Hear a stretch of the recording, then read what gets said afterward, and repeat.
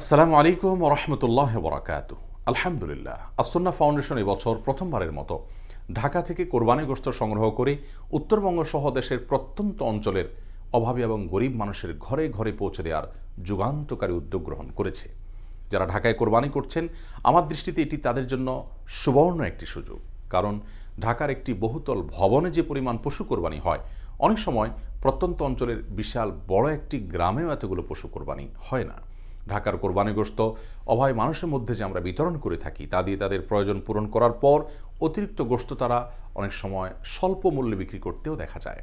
অথচ গ্রামাঞ্চলে এমন অনেক পরিবার আছে যারা সামান্য একটু গোস্তের অভাবে কোরবানির ঈদটাকে তারা সেভাবে উদযাপন করতে পারেন না। তাদের বাচ্চাদের মুখে হাসি ফোটাতে পারেন না। আর হ্যাঁ সেই শূন্যতা পূরণ করার জন্যই ফাউন্ডেশন এ উদ্যোগ গ্রহণ করেছে। আসন্না ফাউন্ডেশনের সকল স্টাফ, কর্মকর্তা, কর্মচারী এবং সম্মানিত স্বেচ্ছাসেবক বৃন্দ, ঈদের পুরো দিন এবং রাত পুরো দমে তারা কাজ করবে।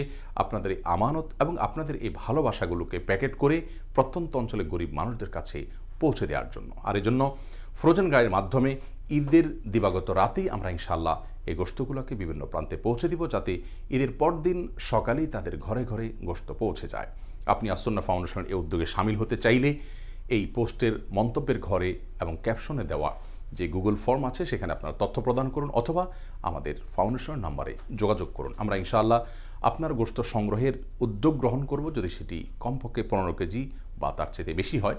আর এর কম হলে আপনাকে কষ্ট করে আফতাবনগরে আসন্ন ফাউন্ডেশন কার্যালয়ে পৌঁছে দিতে হবে। আল্লাহ রব্বুল আলমিন আমাদেরকে সকল কল্যাণমূলক কাজে প্রতিযোগিতার সাথে অগ্রসর হওয়ার তৌফিক দান করুন। আসসালামু আলাইকুম রহমতুল্লাহি অবরাকাত